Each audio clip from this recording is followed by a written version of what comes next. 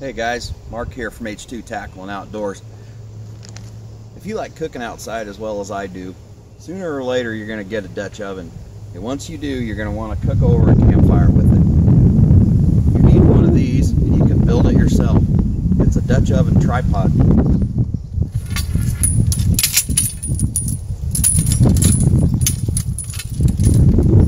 This is made out of stuff that I got from Menards. Really cheap. I have less than 10 bucks in this thing. You can buy them, they're expensive.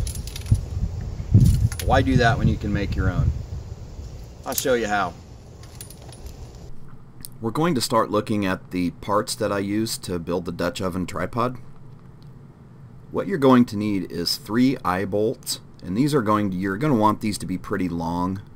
The size really doesn't matter all that much. I got some heavy duty ones uh, the size, like I said, really doesn't matter. And the nuts that are on there, you can take those nuts off because you're not really going to need them.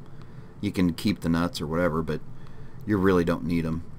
Uh, I got five feet, uh, five foot conduit pieces. They come in five foot lengths at Menards, and it's half inch conduit.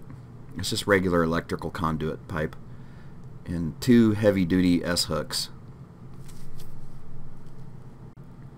The next thing we're going to do is take your conduit pipe and we're going to about 8 inches down from the top drill about a 1 8 inch hole through it. It doesn't really have to be exact if you don't have a 1 8 bit or something that's really similar to that because we're going to put a wire through there. What that's going to do is to give this tripod a little bit of stability in case one of the legs gets kicked out from under it. It'll keep it together instead of the whole thing coming down into the fire and going all over the place. So get that hole drilled in there and uh, we'll go on to the next step. Now that we've got our holes drilled, you're going to want to run some, some sort of a wire through those three conduit pipes like that. I used a snare cable and a double ferrule, but uh, if you don't have any snare cable, you can use wire. Uh, I suppose you could probably use rope. The thing with using rope though is those holes tend to be a little bit jagged and a little bit sharp. I filed mine down with a file, but if you use a rope or something it may have a tendency to cut that rope. But we want to put something through there as you see in the as you see in the picture to keep those together. Next what we would like to do is open up one of your eye bolts, open up the eye so you can insert it through the other two. So all three of them are connected like you see in the picture here. This is where I probably would have done this different. I would have gotten a less heavy duty eye bolt because those thick ones, those thick heavy duty ones were extremely hard to open up.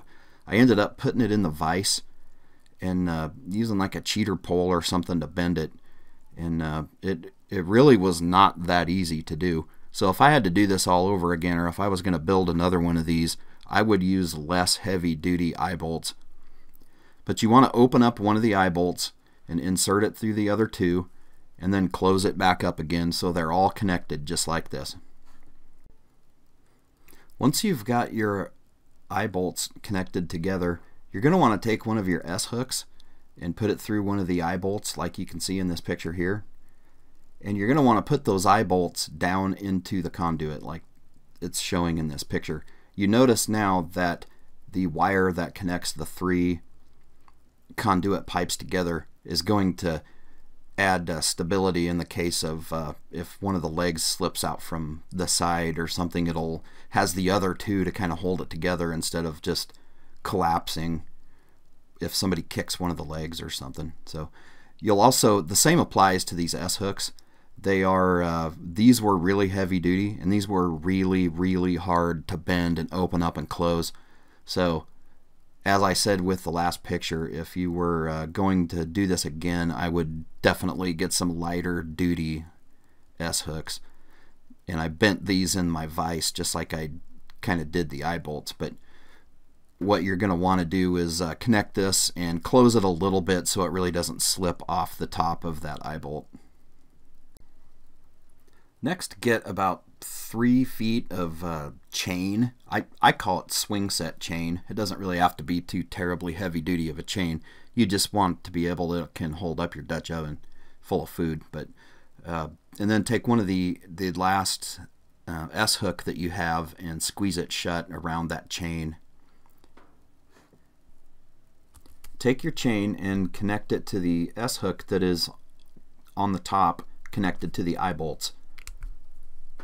Your Dutch oven tripod should now be pretty much complete. You can adjust the length of the chain by wrapping it around that S hook or hooking it up at the top. Once you get this put together, you'll figure out how you can adjust the length of that chain. Once you get that done, set it up and test it out and make sure it's stable. Make sure your eye bolts are in there good enough in the top of the conduit and you are ready to start cooking.